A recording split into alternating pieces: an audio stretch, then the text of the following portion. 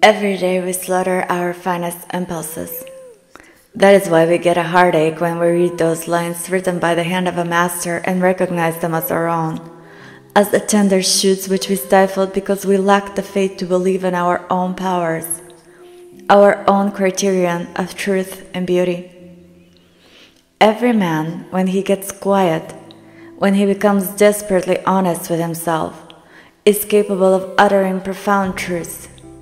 We all derive from the same source. There is no mystery about the origin of things.